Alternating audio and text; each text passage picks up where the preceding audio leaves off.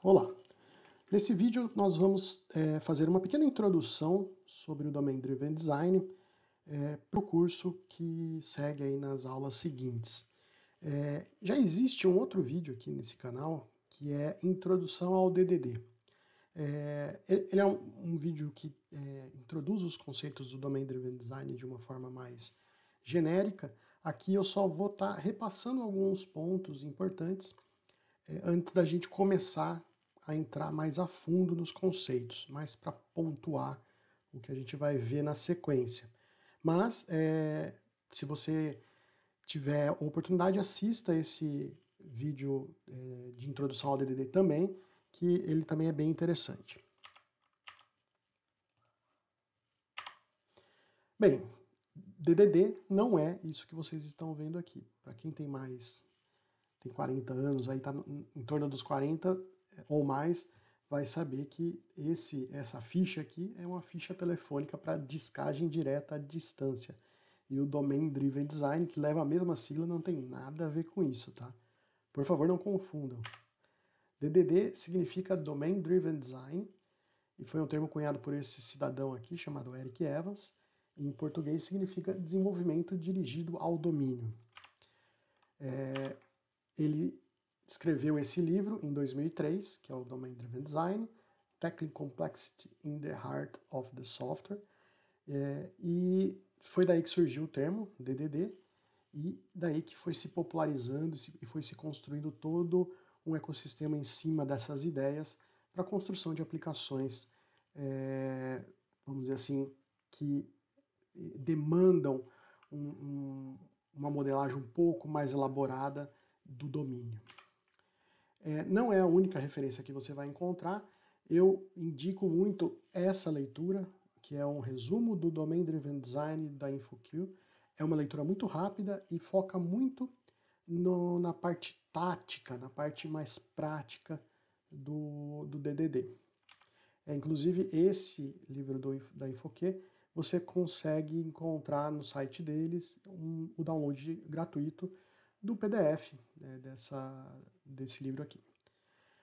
A gente tem um outro, uma outra referência aí mais voltado para .NET, C Sharp, que é o nosso caso, que é esse livro aqui do Jim Nilsson, onde ele aplica o Domain Driven Design e alguns padrões usando exemplos com C Sharp e .NET.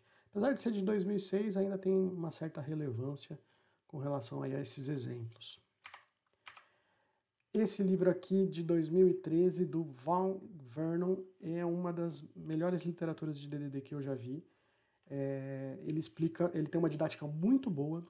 É, se você quiser se aprofundar, se você ler lá o livro da InfoQ, que é o mais é o mais rápido, mais simples e o mais barato, porque é gratuito, e quiser se aprofundar, é, além de ler, obviamente, o livro original né, do Eric Evans, essa é uma literatura muito importante e necessária para quem quer se especializar em DDD. É, em 2014, o próprio Eric Evans escreveu um livro pra, de referência é, dos padrões é, que, e, é, e, definições que ele é, propõe no livro original. Tá? O livro original do Eric Evans, o de capa azul, ele, ele, ele não é uma literatura fácil. Tá? Ele, ele divaga muito e às vezes é, é, difícil acompanhar o raciocínio dele com relação ao, a, a alguns padrões.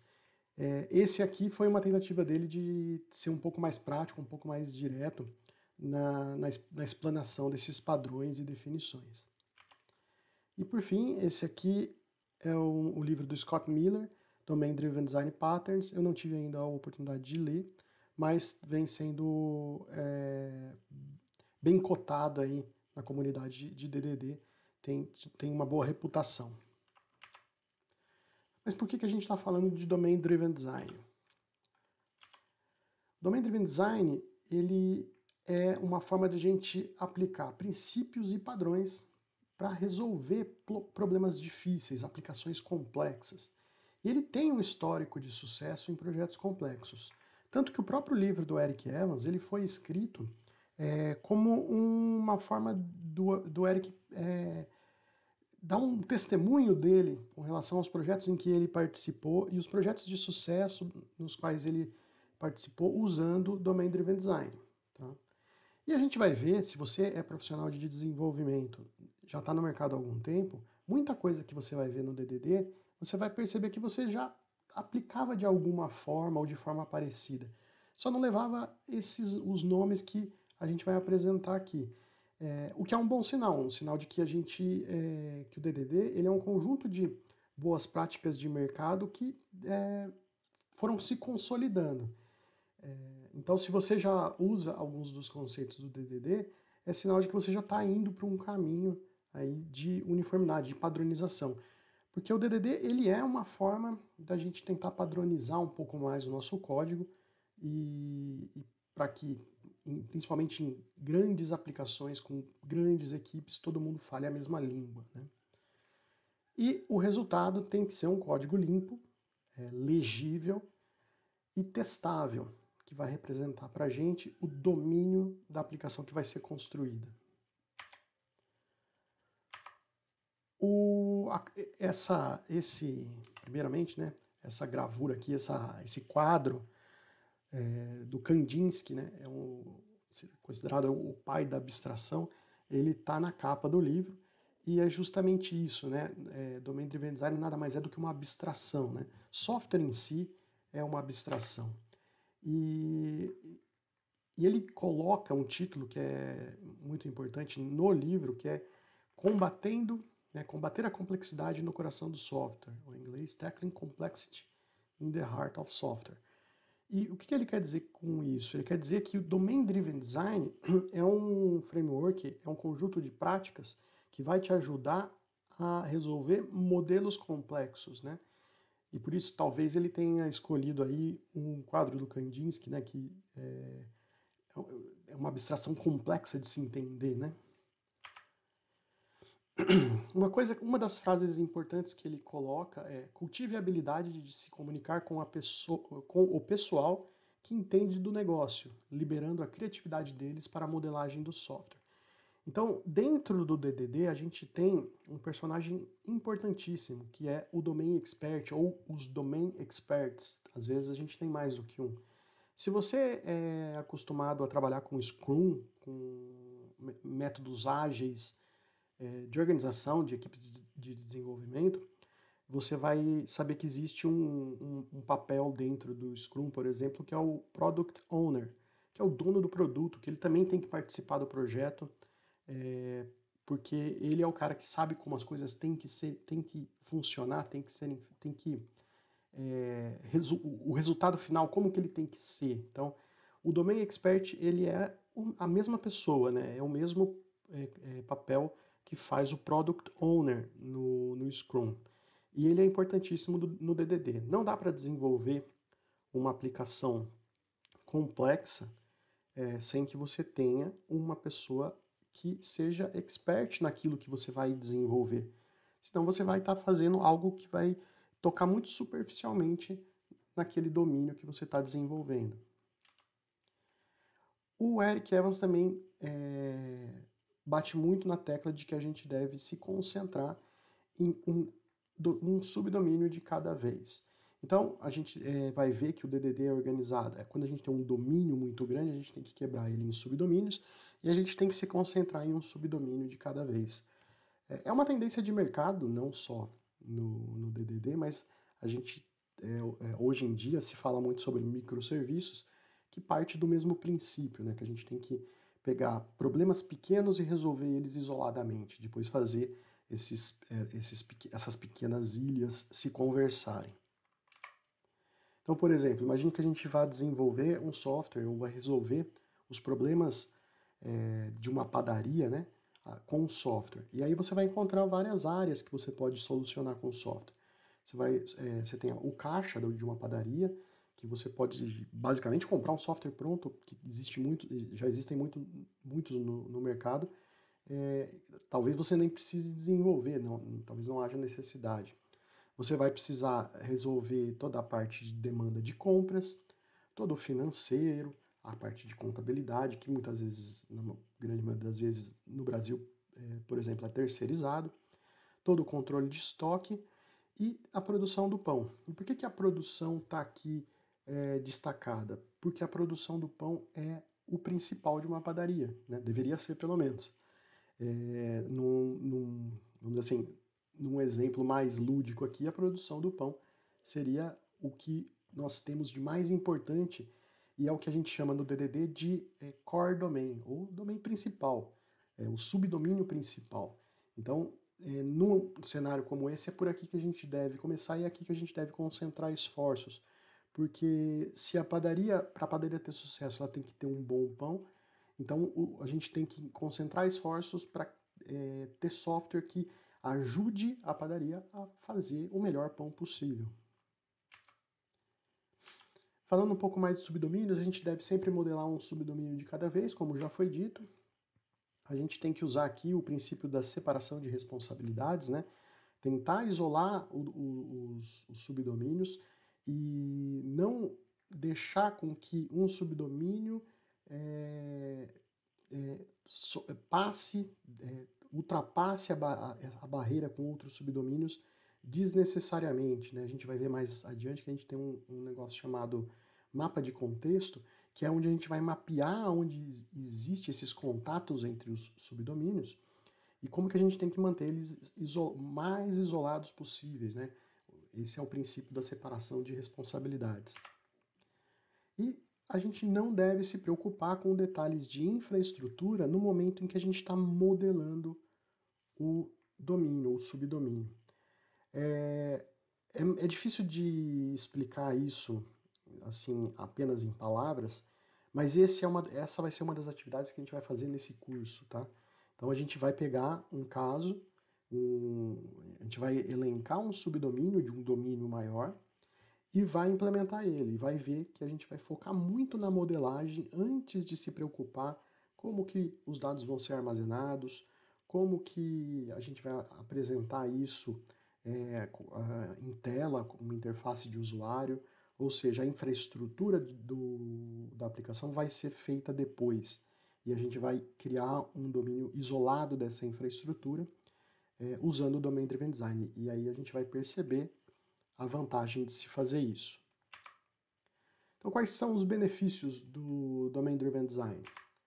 Flexibilidade. Então, apesar de você ter padrões, né, é, definições e padrões é, sugeridas pelo Eric Ellis, você não tem a obrigação de usar todos os padrões e você pode adaptar uma coisa ou outra é, do DDD. São poucas as é, questões do DDD que eu considero que você não deve quebrar e eu vou é, falar delas no decorrer do curso. Mas muita coisa você pode adaptar para a sua realidade, para a sua para a realidade dos, das aplicações que você desenvolve. O DDD tem um foco, ele foca muito na visão do cliente, do usuário final. Então ele, ele parte da perspectiva do problema e não da implementação. Por isso que a gente começa pelo domínio e por isso que também a gente precisa do domain expert próximo da gente no, no, no processo de modelagem principalmente. Ele vai oferecer um caminho seguro para a solução de problemas complexos, tá? o que é difícil, muita gente acaba, é, sai do, da universidade, né, sai da, da academia com a capacidade de implementação de, através de exemplos de coisas muito simples e quando chega no mundo real se depara com é, problemas complexos e não sabe muito bem que caminho seguir e às vezes seguir o caminho de implementações feitas de maneira muito simples é, acabam resultando em, em, um desastre, porque você vai construir uma aplicação que quando ela precisar crescer ou quando ela é, for ter que é, atender a um universo mais complexo, ela não vai conseguir, você vai ter que refazer parte do seu trabalho. Então ela, o DDD oferece um caminho, né, oferece um guia para a solução de problemas que já se apresentam é, de forma mais complexa. E o resultado disso tem que ser um código bem organizado, bem legível, não está escrito aqui, mas é importante, e também testável. A lógica de negócio, ou seja, o coração do software, ele vai ficar em um lugar só. E é, e é essa camada que a gente chama de domínio. Né? Então, cada subdomínio vai ter uma camada lá na, na nossa aplicação, onde a gente vai concentrar tudo que é importante na modelagem, inclusive comportamento, inclusive lógica de negócio. E aí a gente tem muitos padrões é, que podem ser adotados, muitos que a gente não vai precisar, muitos que a gente pode adaptar, mas a gente principalmente vai ter um guia de algumas poucas regras que a gente, se seguir essas regras, a gente já vai estar tá, é, muito bem encaminhado aí na jornada do DDD.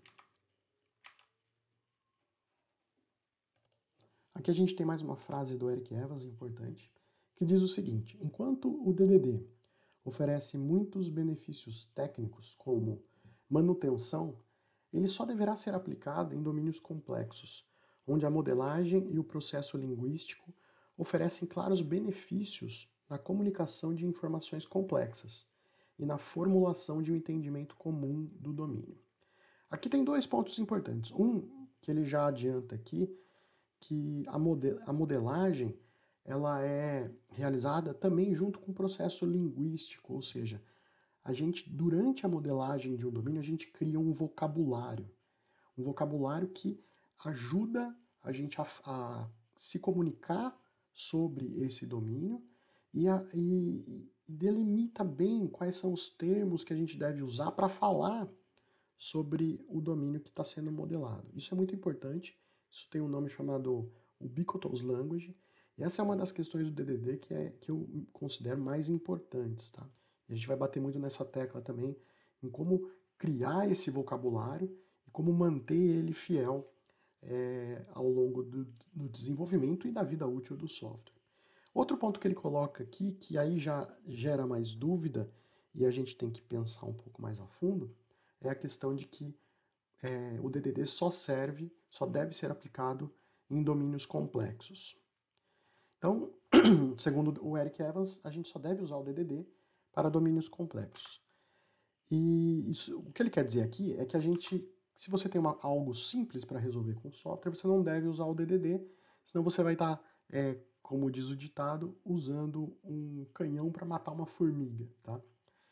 Mas tem uma, uma tem, tem uma questão aí que é, vale a pena ser questionada, que é, por exemplo, é, Muitas aplicações, muitos domínios chegam para a gente, são vendidos para a gente, né, como simples. E a gente muitas vezes cai nessa, é, numa conversa dessa e acaba entrando numa fria, porque muitos dos domínios que parecem ser simples, com o passar do tempo se tornam complexos. Então, eu prego a ideia de que para qualquer aplicação, aplicação de, é, de, qualquer software que você vá desenvolver que, e, que exija alguma regra de negócio que vai ser exposto para usuários, você deva adotar o Domain Driven Design.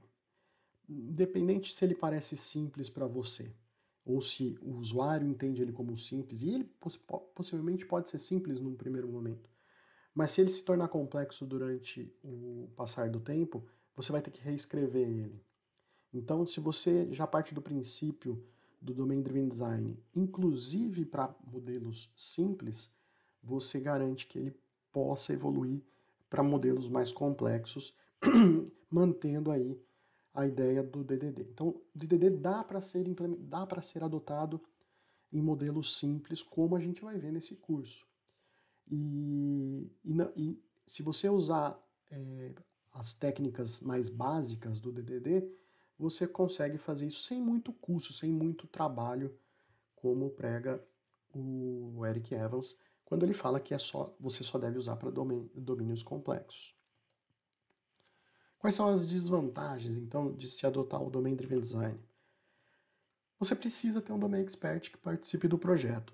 Muitas vezes você pode, pode ser você mesmo, você pode estar desenvolvendo uma aplicação para seu uso, você é o próprio Domain Expert da sua aplicação.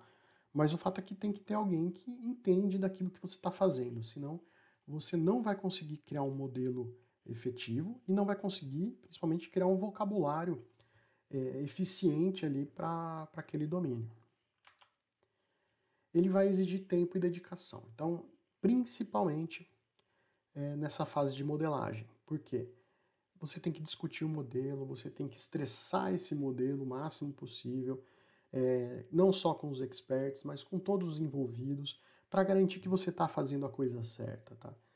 E você vai ter que fazer isso de uma forma isolada, né? isolar toda a lógica do seu domínio, é, todo o seu modelo de outras partes da aplicação, o que é obviamente exige um pouco mais de tempo e dedicação do que fazer algo que não se preocupe com isso. Né? E você vai ter uma curva de aprendizado. Então, se você ainda não usa DDD, se a equipe ainda não está familiarizada com essa filosofia, no começo vai dar mais trabalho, vai, dar, vai, vai levar mais tempo, vai custar mais, porque você vai ter que investir é, no aprendizado da sua equipe e essa curva vai é, levar um tempo até que todo mundo seja eficiente com o uso do Domain Driven Design. Então você vai ter que aprender novos princípios, novos padrões, novos processos. É, é, é uma, é uma filosofia nova que tem que ser embutida aí, né, incutida no, na, no dia a dia do desenvolvedor. E até que você chegue num nível de maturidade, você vai acabar levando mais tempo. Mas a, as vantagens que você vai ganhar lá na frente vão compensar esse sacrifício agora. De novo, aí é aquilo que a gente já falou, é questionável, mas só faz sentido se há complexidade no problema. Eu gosto de inverter essa questão e sempre ponderar que todo problema de software é potencialmente complexo. Você, a princípio, pode achar que não, mas se você encarar todo, todo, toda aplicação que você for desenvolver como potencialmente complexa e adotar DDD desde o começo, você vai estar garantindo que você não vai ter é, muito retrabalho lá na frente. Esse é o mapa de navegação do DDD, é, exposto no livro pelo Eric Evans. Então, é, a gente vai abordar nesse curso praticamente todos os elementos que estão é, elencados aqui. Nesse momento, o que eu posso dizer é que aqui a, a gente tem um Model Driven Design e ele veja que ele é um ponto central aqui nesse mapa de navegação e ele separa o nosso mapa em, do, em duas partes, essa parte superior e essa parte inferior. Aqui na parte de baixo a gente tem o que a gente conhece como é, parte mais estratégica do DDD.